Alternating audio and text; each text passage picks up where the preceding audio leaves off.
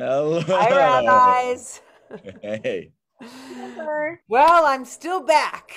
Not only that, to- this week we have such a fun thing that we're doing at the service on Friday night. Nice. We've got some incredible students. Do you want to share with us what you're thinking about them? I did because what I was thinking about was first of all um, how much I underappreciated being a student as a, a mere youth. That when I was in my 30s in cantorial school, I realized, you know, eh, past 20 years old, it's not so easy learning, not so easy. Um, and so I have this great respect for um, all of us that go back to learning, that are a part of lifelong learning, that retire and take courses well into their 80s and 90s. I mean, those are the people that really understand what life's all about. And you know, there's a special blessing that, that we say, and and it's part of a tradition that we have here at Temple Sholom, which is our our our daily Kaddish D'Rabbanan, where we really acknowledge those that came before us, you know, our our sort of original teachers, the people in our lives, uh, people that have influenced us. And so I have had the joy of teaching our Intro to Judaism classes, our Taste of Judaism classes, and other kinds of adult ed uh, here at the synagogue. And I always get to utilize, and I feel like we've been on a little bit of a Debbie Friedman love fest recently, which I think is never a problem. Um, but We've had a love fest. it's been more intense than ever. Yeah. I love it. You know what I mean? It's been like a Debbie Friedman Burning Man fest, like that kind of thing. It's been that intense. That'd be a lot of fun. And I know she'd be so much fun to dance with at Burning Man. Anyway, so I digress. This is her version and her way of taking that gorgeous uh, Hebrew extended Kaddish that we say for our teachers, for students, and for ourselves as students. Um, and she sings this sweet little song um, that literally goes, um, and I'll sing it just very gently. For my teachers and their students and the students of their students, we ask for peace and loving kindness, and let us say, Amen. And so I have a feeling we may hear that again this week. But until then, I wanted to hear from my greatest and my favorite Rabbanan, my dear rabbis. What are your favorite? What's a favorite teaching moment? A favorite teacher you had? A favorite student? Um, a memory of teaching? Anything that comes to mind at all? Huh. I love that that Debbie Friedman tune as well. I mean, I don't think there's another tune for Kaddish Rabbanan anyway. Uh, maybe there is, and I'm sorry for whoever wrote that other one.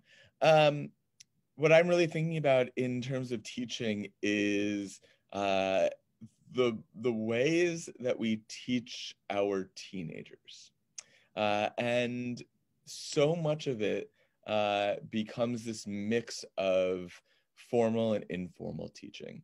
And man, informal teaching is a skill.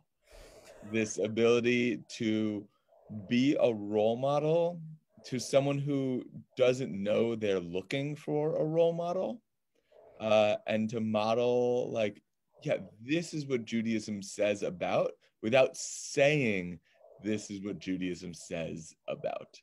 Um, and so I am I'm just always in awe of our religious school teachers who do that mix of formal and informal, of our youth group uh, leaders who do that, um, and like everyone who works at camp doing that because doing that at camp and uh, playing kickball in a Jewish way um, those those moments are some of the best the best ways of teaching or, or some of the best moments of teaching that I've experienced.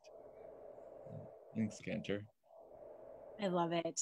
I want to go on with that that teen theme because I, I, have to say that that I feel like the teens at Temple Sholom are are the rock stars of Temple Sholom, and I feel like our our youth look to them as their as really their rock stars, and then we as adults look at them as our rock stars, and so our teens fill this amazing role um, where there are these amazing leaders that I feel like we all learn so much from all the time.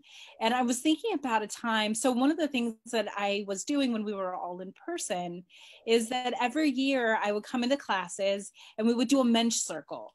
And at the mensch circle, uh, we would go around and really be able to take a Jewish teaching and then be able to share from our own lives and our own selves like a little bit more and I'll say that it doesn't matter um, what I would say. I think it matters just, you know, that presence, that loving presence, and asking big questions and being there. I love that. But our students will always only be as open as our teens are in those settings. And I love those teens who are so brave to be able to share something real that they're going through that then opens up our kids to say, oh, I can share from my own life. Oh, and there's this this Jewish teaching that I thought was like so irrelevant. And then, oh, I see how it actually starts to kind of re uh, recenter myself that I can see then how do I want to continue to grow. And uh, so I just want to say it happened again and again and again over these last few years um, with our teens. And I just, each and every time, I'm in awe and I am so very grateful. They make our teachings come alive. Yeah. Cantor, what about you? Uh, well, I was actually thinking about what an obnoxious teen I was. So I was thinking about how many times, how many, many, many teachers in the past that I need to sing this song to. Um, um, I, I, used to be uh, such a naughty student. I remember uh, one thing I used to do, and again, like I'm sp- supposed to be talking about blessing, but here's my memory. When I was in junior high school, there was a particular class. I just wasn't into the subject, so I got kicked out of the class a lot. Not from being mean to anybody, I just want you to know. It was from being funny. Just just, you know, just just so that it's official. And before I would leave the classroom, I would turn the lights off so that the teacher would have to walk all the way to the door to turn them back on. Well, that wasn't mean. yeah. But you know, I look back now and I think about First of all, I've had, so that you know, I've taught Hebrew school for many years, and there have been plenty of children that have tormented me in honor of myself. Mm-hmm. Um, but I have treated that particular student um, with tremendous amounts of patience and humor and um, warmth and understanding because I know that kid that's just squeezing out as much attention as they can possibly get until they have to leave the room. You know what I love about that too? like, I just, I love how I'm reminded that sometimes we have to think about the people that these kids are growing into and how are we going to plant the seeds to be able for them later to come back to to see how that's blossomed in them? Mm-hmm. But that if we treat their behavior and we don't see the full person in their becoming then i think we just mess up. And i love that your teachers did not mess up with you nope. because you are extraordinary and really one of my very favorite teachers well, you're some of my kindest and most tolerant and loving teachers. So I mean, and that's the thing about Rabbi Gelman. I love that he shared about, you know, teens and, you know, and who have those gifts with teens. And it's it's fun to say to you, Rabbi Gelman, you're one of those, it's true. teachers who can mix that informal and formal and reach our reach our teens, our adults, and our kids. I love it. They only respond to openness and honesty. That's Hmm. Thank you. Thank you Thank so you, much. rabbis. Nice prompt. Thanks.